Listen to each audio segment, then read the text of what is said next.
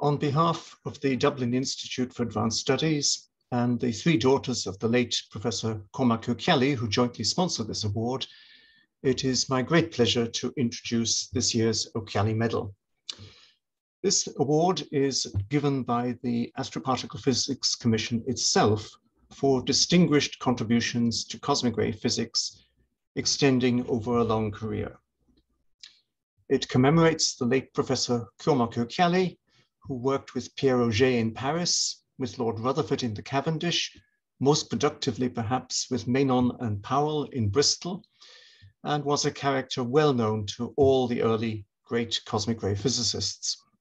He did important early work on meson physics, including kaons, and perhaps most importantly, he established that in the decay mode of the pion, a neutrino is emitted.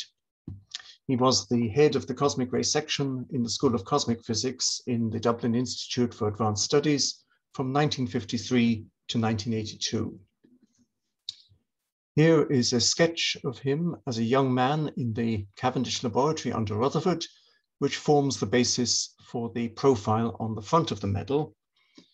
And here is the dedication on the reverse uh, to this year's recipient. Congratulations, Paolo Lipari, O'Ceallaigh Medalist 2021.